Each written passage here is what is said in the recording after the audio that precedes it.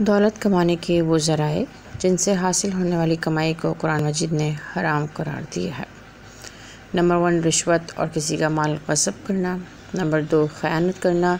Number तीन बुतसाजी और बुतफरोशी number चार, चोरी। नंबर पाँच, नापतोल में कमी करना। नंबर छः, यतीम का माल, उसमें हक तलफ़ी करना, उसब करना।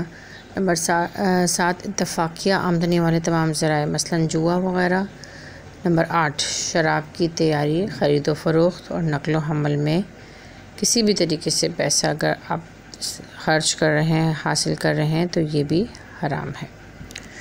नंबर नौ, फहाशी और बेहयाई फैलाने वाले कारोबार। नंबर दस, सूदी कारोबार वगैरह करना। नंबर ग्यारह कोहबागरी और जना वगैरह की आमदनी। नंबर बारह, किस्मत का हाल बताने वाले जो कारोबार हैं, ये भी कुरान की रोशनी में हराम है।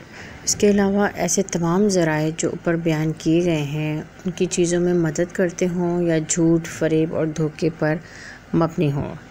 इन तमाम चीज़ों को देखते हुए आप अपना जायज़ा लें कि आया आप इनमें से कोई ऐसा ज़रिया जो है, आमदनी आपका नहीं है, जो हराम में आता हो, ठीक है, और आपकी जो हलाल कमाई हो, उसको भी हराम कर देता हो। तो उम्मीद है कि ये वीडियो आपके लिए बहुत फ़ायदेमंद साबित होगी नेक्स्ट वीडियो के साथ फिर हाजिर होंगी। उस वक्त तक के लिए आपसे इजाज़त चाहूँगी। अल्लाह हाफिज़। फ़ी अमान